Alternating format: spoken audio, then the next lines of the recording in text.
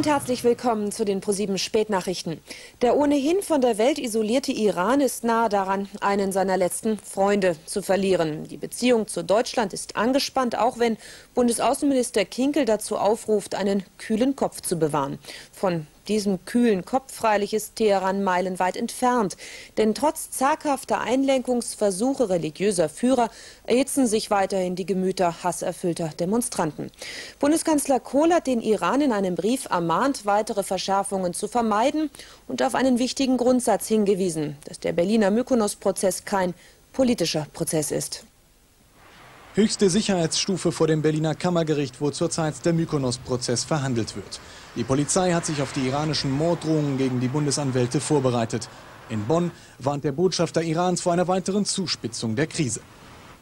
Wir gehen schweren Zeiten entgegen, weil der Bundesanwalt die religiösen Gefühle der Iraner beleidigt hat, erklärt er und fügt hinzu, dass die Bundesregierung klärende Worte sprechen muss.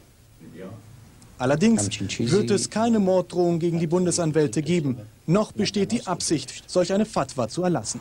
Das allerdings reicht den Sozialdemokraten nicht. Es kann nicht hingenommen werden, dass ein solcher Staat es sich anmaßt, in die innere Angelegenheit, in die Rechtsprechung einer freiheitlichen Demokratie mit so verwerflichen Mitteln einzugreifen. Einen kritischen Dialog zwischen der Bundesregierung und dem Iran haben wir nicht wahrnehmen können.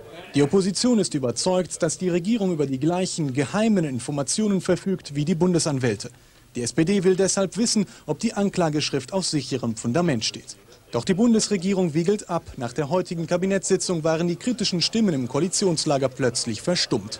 Wir sind sicherlich in einer nicht ganz einfachen Phase äh, der deutsch-iranischen Beziehungen, aber von einer Krise kann man nicht reden. In Teheran sieht das anders aus. Während islamische Studenten ihre wütenden Proteste gegen Deutschland fortsetzen, erschwert ein Machtkampf in der Führungsspitze des Landes zwischen den religiösen Fundamentalisten und den pro-westlichen Kräften einen Ausweg aus der Krise. Stasi-Mitarbeiter, so wird wohl heute keiner mehr gerne genannt, auch Brandenburgs Ministerpräsident Manfred Stolpe nicht. Der Berliner CDU-Abgeordnete Uwe Lehmann-Brauns aber wird nach wie vor diesen so nennen dürfen. Stolpe war gegen derartige Äußerungen Lehmann-Brauns vor Gericht gezogen und hatte verloren. Der Richterspruch dauerte nur eine Minute. Die zwei Kontrahenten waren gar nicht erst erschienen. Uwe Lehmann-Brauns, so urteilte das Gericht, habe keine Tatsachen behauptet, sondern nur seine Meinung geäußert und das stehe ihm frei. Manfred Stolpe sieht das anders. Ich kann nur ganz schlicht sagen, es ist nach meiner festen Überzeugung eine Tatsachenbehauptung und ich werde diese Verleumdung nicht im Raum stehen lassen und Gott sei Lob und Dank hat man ja auch noch weitere Rechtsmittel, die werde ich natürlich ausschöpfen. Dies lasse ich nicht zu, äh, dass ich hier ständig verleumdet werde. Wenn man nach Bundesverfassungsgericht sagen darf, Soldaten sind Mörder in Uniform, dann wird es wohl erlaubt sein die Summe aus all dem zu ziehen, was in den Akten über Herrn Stolpe inzwischen zusammengetragen ist. Nun werden sich die Streithähne wohl vor dem Potsdamer Oberlandesgericht wiedersehen. Und nun weitere Meldungen im Überblick. Strafverschärfung. Die Justizminister der Länder haben sich in Bonn auf härtere Strafen bei sexuellem Missbrauch von Kindern geeinigt. Die Mindeststrafe soll von sechs Monaten auf ein Jahr heraufgesetzt werden. Kindesmissbrauch wird dann nicht mehr als Vergehen, sondern als Verbrechen gewertet. Vor der Haftentlassung eines Triebtäters sollen zusätzliche Gutachten eingeholt werden. Auf eine Anhebung der Höchststrafe von 10 auf 15 Jahre konnten sich die Minister jedoch nicht verständigen. Hilfsaktion. Vom Stuttgarter Flughafen aus ist die erste Frachtmaschine mit 110 Tonnen Hilfsgütern an Bord nach Ruanda gestartet. Ein Vorauskommando des Technischen Hilfswerks hat in Kigali bereits mit den Vorbereitungen für den humanitären Einsatz begonnen. Die rund 40 Helfer sollen vor allem für die Aufbereitung frischen Trinkwassers sorgen. Die Aktion dauert drei Monate und wurde vom UNO-Flüchtlingshilfswerk angesetzt. Proteste. In Zagreb sind Tausende auf die Straße gegangen, um für mehr Medienfreiheit und Demokratie zu demonstrieren. Der Grund, dem letzten unabhängigen Sender Kroatiens Radio 101 ist die Lizenz entzogen worden. Er sei zu politisch und nicht objektiv genug, warf der Medienrat dem Sender vor. Washington warnte vor Behinderung der Demokratie.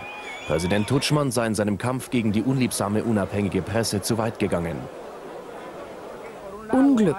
In Puerto Ricos Hauptstadt San Juan sind bei einer Explosion in einem Kaufhaus mindestens 19 Menschen ums Leben gekommen. Etwa 50 wurden zum Teil schwer verletzt. Sechs Angestellte eines Schuhgeschäfts werden noch vermisst. Unglücksursache war vermutlich eine defekte Erdgasleitung. Mitarbeiter des Gaswerkes hatten vor der Explosion versucht, die undichte Leitung vor dem sechsstöckigen Gebäude zu reparieren. In Hannover werden die ATP-Tennis-Weltmeisterschaften ausgetragen. Matthias Herreiner. Dort leistet ein Mann Außergewöhnliches, den nicht wenige für diese Tennissaison schon abgeschrieben haben, Boris Becker. Vor einem Monat konnte er nach seiner langen Verletzungspause das ATP-Turnier von Stuttgart gewinnen. Sein Gegner dort im Endspiel war Pete Sampras, die Nummer 1 im Welttennis. Und gegen eben diesen Pete Sampras bestritt Becker am Nachmittag sein zweites Spiel in der roten Gruppe. Und die beiden boten absolutes Weltklasse-Tennis. Nach zwei Stunden und 14 Minuten stand es 7 zu 6 und 7 zu 6 für Becker. Der wird übrigens am Freitag 29 und kann jetzt unbeschwert feiern. Für das Halbfinale ist er bereits vor dem abschließenden Gruppenspiel gegen Agassi-Ersatz Thomas Enquist qualifiziert. Der traf auf Jewgeni Kafelnikow und der Russe siegte mit 6 zu 3 und 7 zu 6.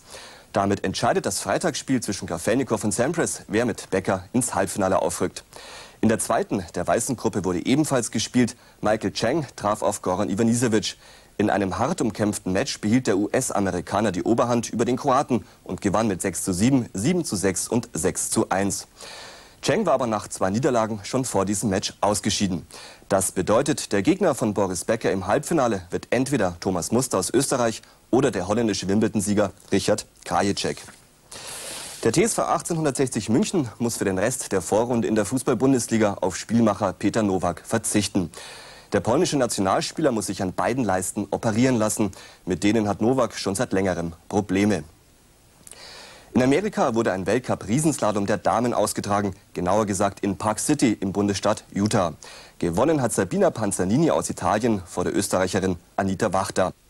Katja Seitzinger aus Halblech belegte einen sehr guten dritten Platz. Sieht schon sehr gut aus, der Winter bis jetzt für Seitzinger. Und was das Wetter bei uns macht, sehen Sie jetzt. Am Niederrhein wechseln Sonne und Wolken ab. In Köln und in Hennef bleibt es dabei überwiegend trocken. In Bonn und in Bad Honnef klettern die Temperaturen bis auf 6 Grad. 6 Grad werden auch in Koblenz erreicht. An der Nordsee zeigt sich die Sonne nur selten. Quellwolken bringen vor allem am Nachmittag und Abend örtlich Regen, Schnee oder Graupelschauer. In Stade gibt es nur 5 Grad. Auch in Wedel bleibt es mit Werten um 4 Grad kalt. Sonne und Wolken wechseln sich ab. Im Norden und Osten gibt es örtlich Regen, Schnee oder Graupelschauer. Im Süden und Westen bleibt es dagegen weitgehend trocken. Die Temperaturen steigen auf Werte zwischen 1 Grad im Alpenvorland und 6 Grad am Rhein und an der Küste. Oberhalb 600 Meter herrscht Dauerfrost. Das waren die ProSieben Spätnachrichten. Ich wünsche Ihnen noch eine angenehme Nacht. Auf Wiedersehen.